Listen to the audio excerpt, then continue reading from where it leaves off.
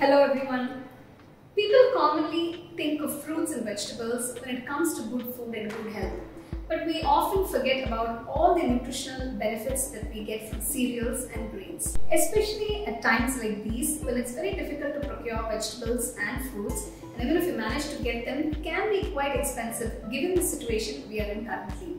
So don't worry, you can still build your health with all the basic vegetables and these wonderful cereals and grains. Today I'm going to show you two lovely upma recipes. One is the red poha upma and the other one is millet upma. So let's get started and check out the recipes.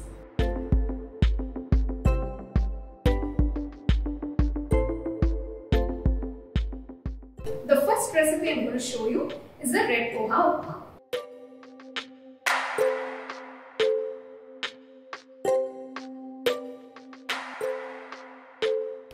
We all know that poha is called flattened rice in English and it is made of white rice.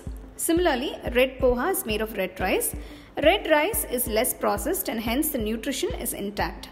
So, red poha is definitely healthier when compared to the white poha due to its high nutritional value. Now, let us go into the details of how to make this lovely and healthy red poha upma.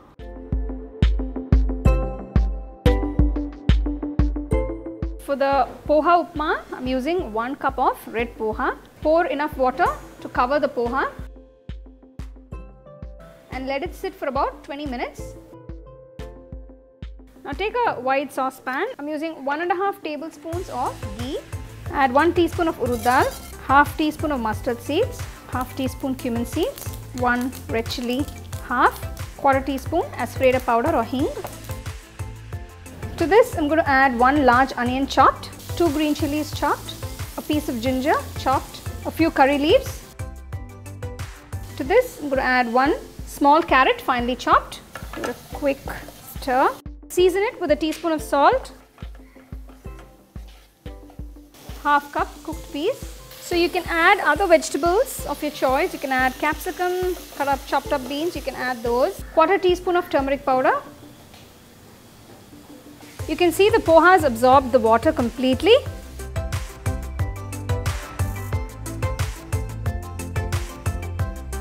Garnish it with some fresh grated coconut.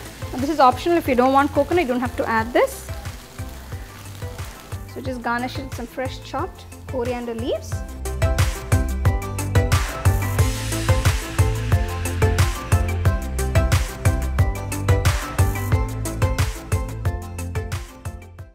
So how was that very simple recipe with very less vegetables?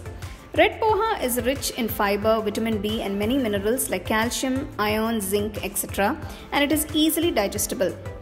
It is a good choice to grab a few packs of red poha and stock up at your homes during times like this. Now moving on to the next recipe, I'm going to show you a very simple and tasty millets upma. Now millets are high in fiber, proteins, vitamins and minerals. Are less in fats and they have high in antioxidants. Now, these help you to build your immunity and also fight diseases. So, what better way to include millets in your diet? So, let's get started and check out the recipe.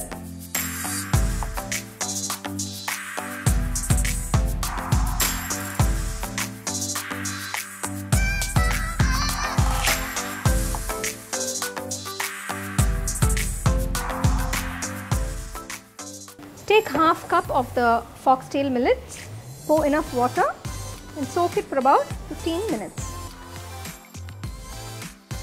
Take a wide saucepan, add 2 teaspoons of ghee. So if you want to use oil, you can use oil. Ghee is a better option to oil.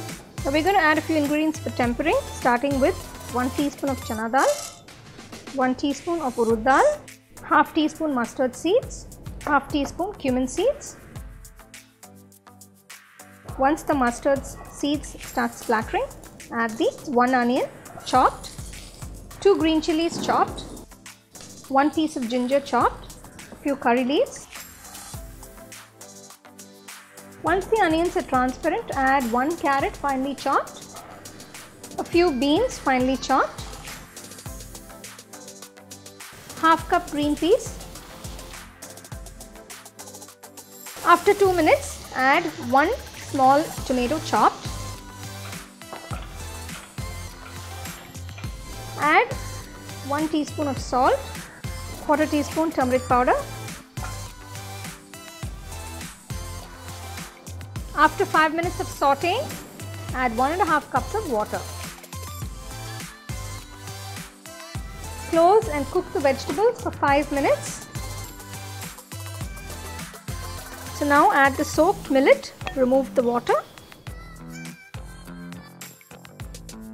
Close and cook for 15 minutes on low flame. Okay, the millets have cooked perfectly. You can see there's no more water left. Millets upma is ready to be served. See, it is done with less ingredients and that too, which are usually available in the kitchen. Try this upma sometimes as a meal. This can be really filling and you won't feel hunger for a few hours after having this. So there you go. Hope you guys like this tasty and yummy upma recipes. Uh, now these uh, cereals and grains are powerhouses of nutrition. So make sure you buy them in packets and you can store them for a long period of time. So do try these recipes. Stay safe, stay healthy. I'll see you guys soon. Take care.